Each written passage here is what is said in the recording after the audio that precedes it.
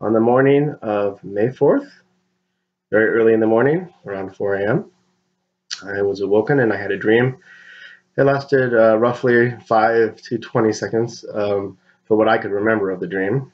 And the, uh, the dream um, started, um, I was uh, going into uh, what I would call an assembly room, kind of like a theater.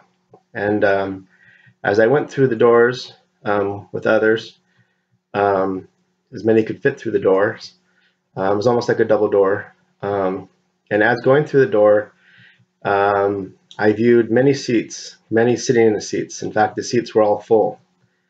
And uh, I was viewing them uh, basically, I guess, looking at their left side of their face. So they were facing, I guess it would be um, toward the stage. So if they're if looking at their left side of the face, they're kind of I guess it would be facing uh, north. I guess that would be. But there, I would see that it was kind of it wasn't straight on, so I wasn't seeing the back of their head. It was the side. But all the seats were full, and uh, after that point, um, uh, the, uh, I can feel the the rush of the people coming in. So I was like uh, one of the last ones to go, come in, and at that point, um, there was a very uh, feel of tight of almost like claustrophobia, but it was a real tightness, as if we were shoulder to shoulder.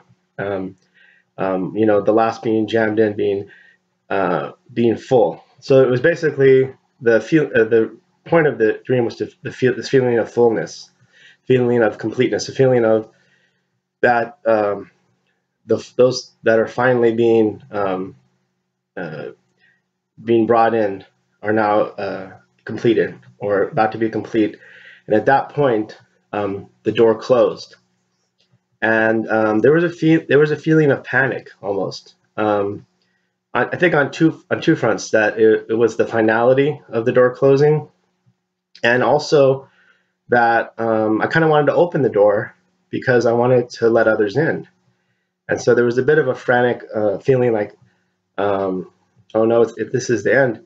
Not that you weren't happy to where where you were, but um, I think the point uh, that the Holy Spirit was trying to convey, uh, the word that I came back with is urgency.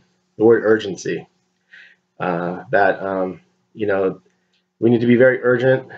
Um, and uh, and so after that, I woke up, and so um, I wanted to uh, to share this dream that I had.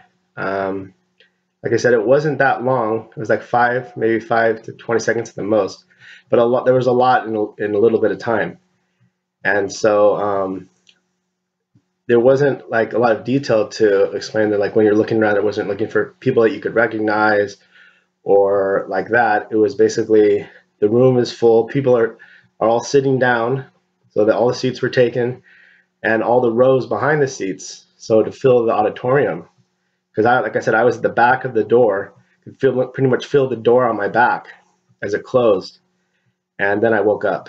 So anyways, I wanted to share that dream, um, and I hope you all have a blessed day.